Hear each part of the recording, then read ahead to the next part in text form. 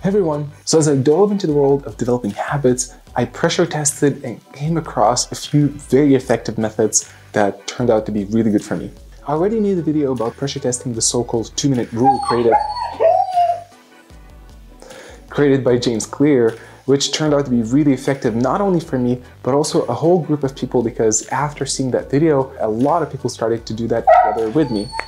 Another method that I discovered is something that I call grouping, and actually that takes again inspiration from the writer of Atomic Habits, James Clear. In this video, I will not only introduce to you the details of how that method works, but you will also see recordings and examples of me using that method for seven days in a row. I use the grouping practice together with the two minute rule. If you are unfamiliar with the two minute rule, it's a commitment to perform some action every day for at least two minutes, where you continue to go on if you are inspired. If you are interested to learn more about the two minute rule, I made a special video about it, which you can find by pressing this link here in the corner. Now to come back to grouping, the main idea behind grouping is that you take something that you are already used to doing and then you add an additional action together with it. For example, my favorite grouping practice is to watch Netflix, which I love doing already, but instead of watching it on a couch, I add foam rolling together with it, which now suddenly becomes a practice of grouping. And I even managed to group it together with playing with my dog.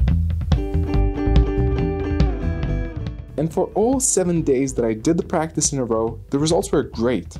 Not only did I catch up with my Netflix shows, but I also ended up foam rolling for at least 30 minutes each time, which I would have probably did much less of, or none at all, if I didn't create this form of grouping. I noticed on some of the days I would even be looking forward to watching TV shows just because I wanted to also do some foam rolling. Now watching Netflix also feels much more productive and even healthy. The other grouping practice that I did for 7 days in a row and recorded was my continuation of doing the 2 minute rule shadow boxing, aka shadow box for at least 2 minutes and continue if inspired, which I already got used to doing, but instead of stopping there, I also added two more 2 minute rule practices of learning to stand up on my hands from the so-called crow position and then doing some sort of fitness exercise, which I kept changing daily to make sure I don't burn out a single group of muscles and give enough time for them to recover. Some days I felt tired and I only did the minimum basic, two minutes of each exercise, and that was it. But on other days, I was on fire, and not only did I do each exercise for longer, but I also continued to do more exercises than I planned in the beginning, ending up with doing a full workout. I also even got a pep talk from my dog to keep on going.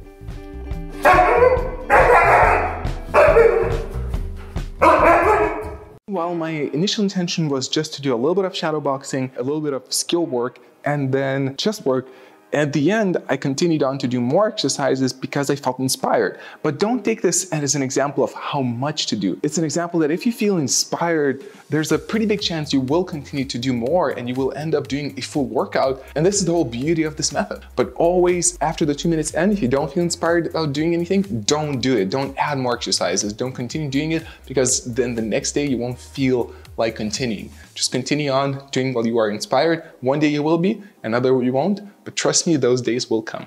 In the end though, each day, whether I was tired or inspired, knowing that it's only three different exercises to do for only two minutes each, it wasn't difficult to get it done. And because of it, I didn't feel any motivational problems.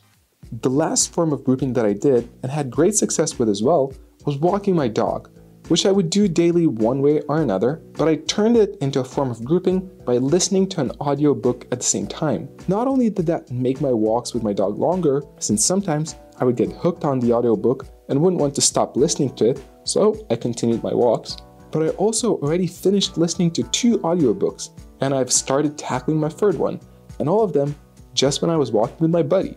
What was interesting too to notice is that sometimes I would just want to listen to the audiobook and that would make me go out for a walk with my dog, which was great not only for me, but obviously for him as well. So as you can see, I found the method of grouping to be very effective. But this series of episodes wouldn't be called Pressure Testing Life if I wouldn't say this to you. While the grouping method really worked out well for me, don't come to the conclusion that it works, period. Test it out yourself. What works for me maybe won't work for you, or maybe it's gonna work even better for you than it worked for me.